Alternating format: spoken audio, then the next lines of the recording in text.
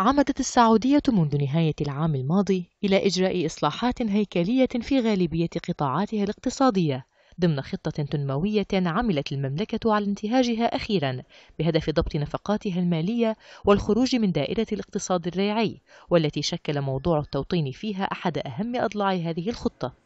أهمية تجلت في توجه المملكة أخيرا إلى إلزام الشركات الأجنبية بعدم تجاوز العمالة الوافدة نسبة 25% من العاملين في الشركة على أن تحدد المنشأة تقسيم فئاتهم إلى 10% من المديرين والأخصائيين و15% من الفنيين والعمال أو بالعكس.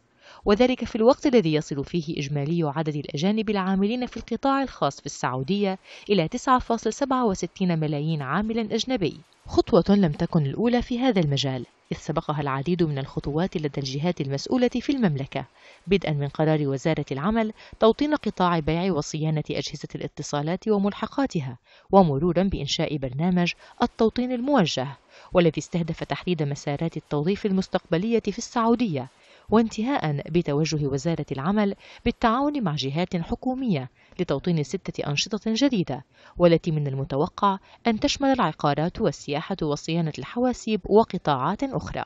الاهتمام السعودي المتصاعد بهذا المجال يعكس رغبة قوية في القضاء على مشكلة البطالة المتصاعدة بين فئات الشباب السعودي.